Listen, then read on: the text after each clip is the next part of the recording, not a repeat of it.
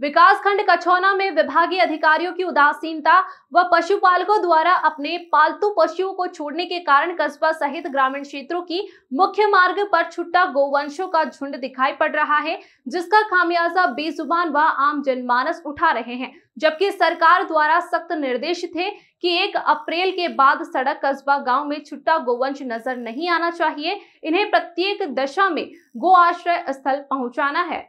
गो आश्रय स्थल में पर्याप्त सुविधाएँ, चारा, पानी, भूसा व बचाव के पर्याप्त संसाधन उपलब्ध होने चाहिए। सरकार के लाख प्रयास के बावजूद छुट्टा गोवंश ज्वलंत समस्या बनी है। गोवंशों के संरक्षण एवं संवर्धन के लिए सरकार प्रयासरत है। बताते चले कि नगर पंचायत के कछौना पैट्स में कछौना चौराहा, कोतवाली कछौना परिसर, सुठेना तेराहे ठाकुरगंज गोल बिल्डिंग के पास नगर में छुट्टा गोवंश वितरण करते हैं, जिसमें पशुपालक भी अपने पालतू पशुओं को छोड़ देते हैं, जिसके कारण छुट्टा गोवंशों की समस्या बनी रहती है। विकास खंड कछौना के मथुआ गाँव, ग्राम सभा पूर्वा, अरसेनी दीन नगर, लोनहारा, हथौड़ा, मानपुर, कमालपुर, कलौली, मरेउरा निर्मलपुर गाजू आदि ग्राम सभाओं के अभी तक छुट्टा गोवंशों की समस्या बनी है। वहीं चिकित्सा अधिकारी डॉक्टर आशीष कुमार ने बताया कि अभियान सतत चल रहा है।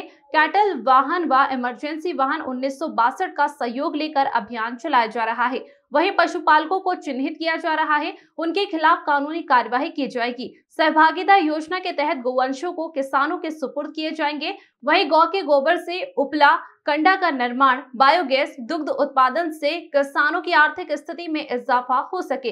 विकास जन आंदोलन के संयोजक रामखे लावन कनौजिया ने कहा कि जब तक गोवंशों के लिए प्रभावी योजना नहीं लागू की जाएगी, तब तक छुट्टा गोवंशी समस्या बरकरार रहेगी। Bureau report.